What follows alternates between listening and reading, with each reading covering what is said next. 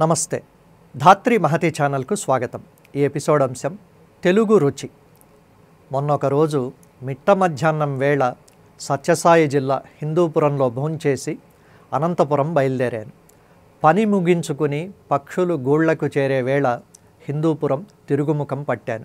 ఎప్పుడో ఒంటి గంటప్పుడు ఎంగిలిపడ్డాను కడుపులో ఆత్మారాముడు అనంతరూపమున వింతలు చేస్తున్నాడు. కారులో పెన్ డ్రైవ్లో పెట్టుకున్న పాటల్లో మనసే అందాల బృందావనం వేణు మాధవుని పేరే మధురామృతం. కమ్మని నగుమోము కాంచుటే తొలినోము కడగంటి చూపైన కడుపావనం వినిపిస్తుండగా జాతీయ రహదారి ఎడంవైపు హల్వా అంగడి తాటి బెల్లం కాఫీ అన్న తాటికాయంత అక్షరాల బోర్డులు కడుపావనంగా కనిపించాయి. కవి వాక్కు సత్యం కావడం అంటే ఇదే కాబోలు అనుకుంటూ కారును ఆపమని డ్రైవర్కు చెప్పాను. అంతకు రెండు రోజుల ముందే హైదరాబాద్లో ఒక పేరు మోసిన కార్పొరేట్ ఆసుపత్రిలో కొన్ని తెలుగు బోర్డులు చదివి హెల్త్ ఇన్సూరెన్స్ క్లెయిమ్ అడగాల్సి వచ్చింది. ఆసుపత్రి గోడల నిండా ఫైర్ ఎగ్జిట్ అని ఇంగ్లీష్లో అగ్ని నిష్క్రమణ అని దానికి అనువాదంగా తెలుగులో రాసిపెట్టారు. మక్కికి మక్కి అనువాదంలో అగ్ని తనంతట తనే నిష్క్రమిస్తోంది.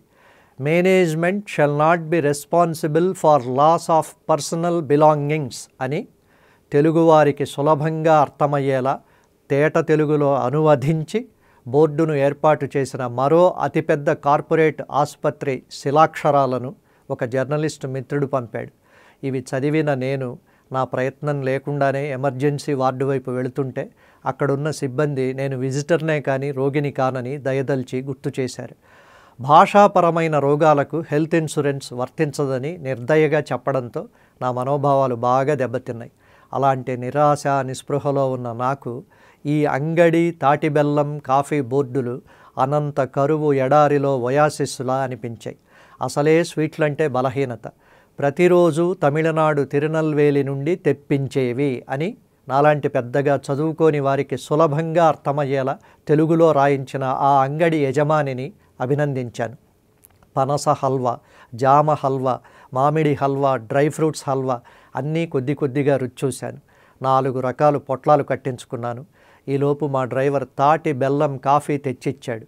తాగి చీకట్లో రహదారి మీద హిందూపురం బాట పట్టాను. పెన్ డ్రైవ్లో ఎస్ జానకమ్మ గోవుళ్ళు తెల్లన గోపెమ్మ నల్లన గోధూళి ఎర్రన అని సప్తపది పాట పాడుతోంది. తిరునల్వేలి పనస హల్వా రుచి నాలుక మీద సుడులు తిరుగుతోంది. వేటూరి అమృతగీతం చెవుల్లో మారుమోగుతోంది. స్వర్గానికి బెత్తెడు దూరంలో ఉన్నట్టు గాలిలో తేలుతూ హిందూపురంలో మా చెల్లెలి ఇల్లు చేరాను. మరో ఆసక్తికరమైన అంశంతో తర్వాతి ఎపిసోడ్లో కలుద్దాం. అంతవరకు సెలవు. నమస్కారం.